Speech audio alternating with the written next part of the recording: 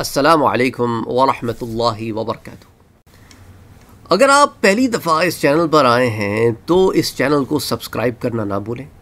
Notification bell icon پر click کرنا نہ بھولیں تاکہ آپ کو ریگولر نوٹیفیکیشن اپڈیٹس مل سکیں۔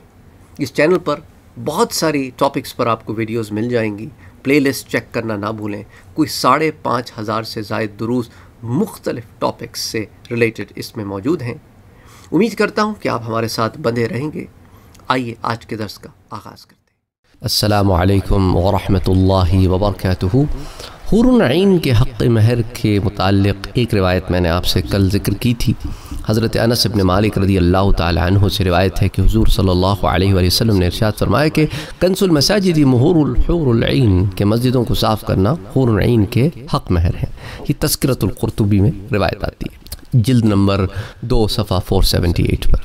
اس کے علاوہ مولا علی کرم اللہ وجہ سے ایک روایت ہمارے سامنے آتی ہے کہ حضور اکرم صلی اللہ علیہ وآلہ وسلم نے ارشاد فرمایا کہ یا علی، اے علی حور عین کے حق مہر ادا کرو اور راستے سے تکلیف دہ چیزوں کو ہٹا دینے سے اور مسجد سے کوڑا کرکٹ نکالنے کے ساتھ، کیونکہ یہ حور عین کے حق مہر ہے۔ تو اب آپ اس سے اندازہ کریں کہ یہ دو چیزیں جو ہیں دیکھیں نا ایمان کی شاخیں بیان کی نا، ایک اور روایت میں جو میں نے آپ سے ذکر کی، اس میں سب سے ادنا شاخ کیا ہے کہ راستے سے تکلیف دہ چیز کا ہٹا دینا ہے۔ تو ایمان میں داخل ہے نا، ایمان کی شاخوں میں یعنی ایمان میں داخل ہے۔ تو اس کا ایک چونکہ ایمان میں داخل ہے نا، تو اس کا ایک اجر و ثواب یہ بھی ہے کہ تکلیف دہ چیزوں کا راستے سے ہٹا دینا اور مسجد کی صفائی کرنا۔ یہ تمام چیزیں دیکھیں نا، اب تو بڑا اچھا زمانہ آ گیا ہے۔ پہلے زمانے میں صفائی کے طریقے اور اب میں بڑا فرق ہے، لیکن آئیڈیا وہی ہے نا۔ آج تو قالین کارپٹس بچھے ہوئے ہوتے ہیں ویکیوم کرتے ہیں لوگ ڈسٹنگ کرتے ہیں شینڈ لیئرس کو یا مختلف اور چیزوں کو صاف کرتے ہیں۔ پنکھوں پہ سے گرد جو ہے وہ جم جاتی ہے، اس کو صاف کرتے ہیں۔ مختلف اور طریقے آ گئے ہیں صفائی کرنے کے۔ اور مار ماربل کے فرش ہیں یا سنگ مرمر کے فرش ہیں، جو بھی ہے، تو اس کو جو ہے اچھی طریقے سے پوچھا ووچا لگاتے ہیں۔ تو یہ تمام چیزیں بھی صفائی میں آ گئیں۔ تو یہ ساری چیزیں، ساری نیکیاں کیا ہے؟ یہ حور عین کے مہر ہے تو اب یہ جو روایت ہے، یہ مستد الفردوس میں آتی ہے۔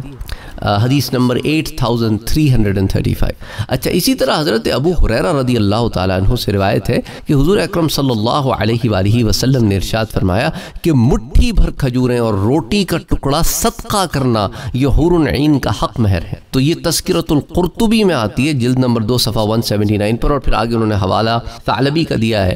تو اس، یہ بھی ایک حق پہرے تو کہنے کا مقصد ہے کہ مختلف روایتیں جو آتی ہیں نا کہ دیکھیں ہر آدمی تو ہر عمل نہیں کر سکتا۔ کوئی مسجدوں کو صاف کر رہا ہے، کوئی راستے سے تکلیف دہ چیزوں کو ہٹا رہا ہے، کوئی صدقہ خیرات کر رہا ہے۔ چھوٹی سی چھوٹی چیز مٹھی بھر کھجوریں ہیں۔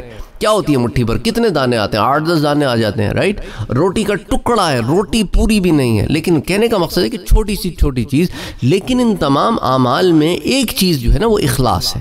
فائدہ علماء نے یہ لکھا ہے کہ چھوٹے چھوٹے عمل ہیں، اگر اخلاص کے ساتھ یہ تھوڑا سا مال خرچ کیا، تب یہ فضیلت حاصل ہوگی۔ تو اخلاص جو ہے، اس میں ایک بڑی زبردست چیز ہے۔ اچھا حضرت ابو حریرہ رضی اللہ تعالی عنہ فرماتے ہیں کہ تم میں سے ہر ایک شخص فلاں کی بیٹی فلاں سے کثیر مال کے حق مہر کے بدلے میں شادی کر لیتا ہے۔ مگر حور عین کو ایک لقمہ اور کھجور اور معمولی سے کپڑے کے صدقے نہ کرنے کی وجہ سے چھوڑ دیتا ہے۔ یعنی تم دنیاوی عورت کو حاصل کرنے کے لیے کتنا مال لٹاتے ہو، کتنا مال خرچ کرتے ہو، حق مہر جو ادا کرتے ہو۔ اور تھوڑا سا مال خرچ کرو تو حور عین، لیکن اخلاص نیت کے ساتھ، اللہ کے لیے خرچ کرو، صدقہ تو وہ حور عین جو ہے، اس کا حق مہر ہے۔ تو اینی وے کیونکہ بندہ جب اللہ کے لیے کرے گا نا، تو ایمان والا ہوگا تو اللہ کے لیے کرے گا نا۔ اور اس کے بعد جو ایمان والا ہوگا اور نیک عمل کرے گا، تو یہی وہ لوگ ہیں جن کے، جن سے جنتوں کا وعدہ ہے، تو جنت میں داخل ہوگا، تو حور عین عطا ہو جائے گی۔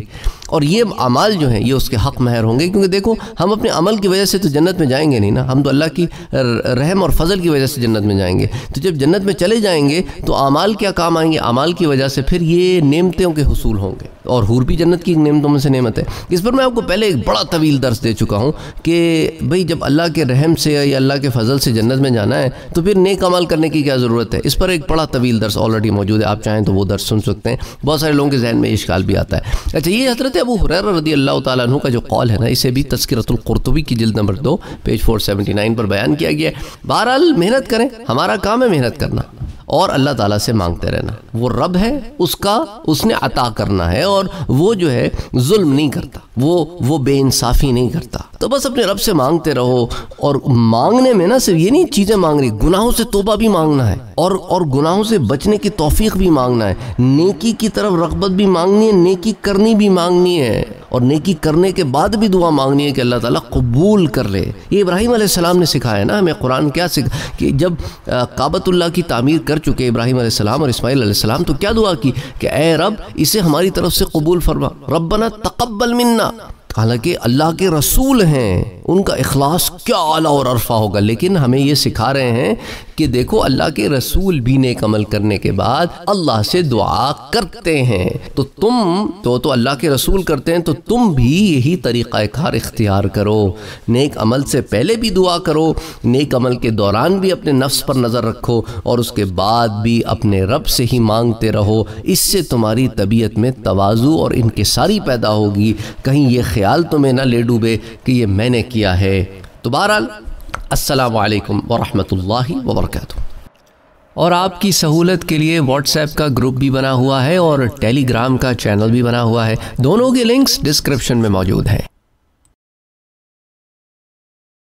اگر آپ نے ابھی تک ہمارے چینل کو سبسکرائب نہیں کیا ہے تو سبسکرائب کا بٹن دبائیں، بیل کے آئیکن کو پریس کریں تاکہ آپ کو ریگولر نوٹیفیکیشن اپڈیٹ مل سکے اور آپ ہمیں ہمارے لائیو سیشنز میں بھی جوائن کر سکیں۔ ویڈیو پسند آنے کی صورت میں لائک شیئر اور کمنٹ کرنا نہ بھولیں۔